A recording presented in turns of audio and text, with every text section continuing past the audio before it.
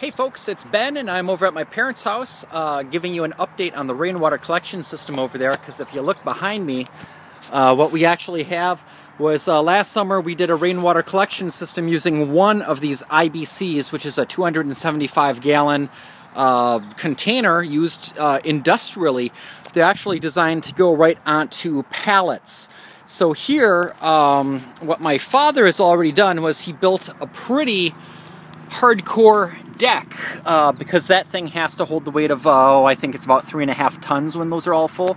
So that's really sturdy and it gives it enough height uh, to be able to gravity feed those uh, raised beds over there and then a uh, number of fruit trees out here. So uh, we're in the middle of upgrading this water system. It'll have three times the capacity and then on the front this is all going to get covered up using the same material as the side of this barn here.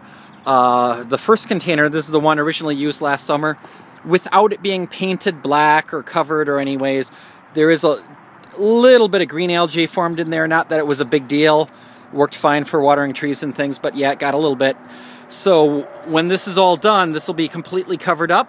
It'll uh, match the style of this building, and that'll be uh, three times 275 gallons of water. Uh, be able to uh, take care of these fruit trees, those beds. Back there we got chickens. Right there we got some ponds and a little waterfall, and it's kind of turning into a very uh, do-it-yourself, eco kind of a place.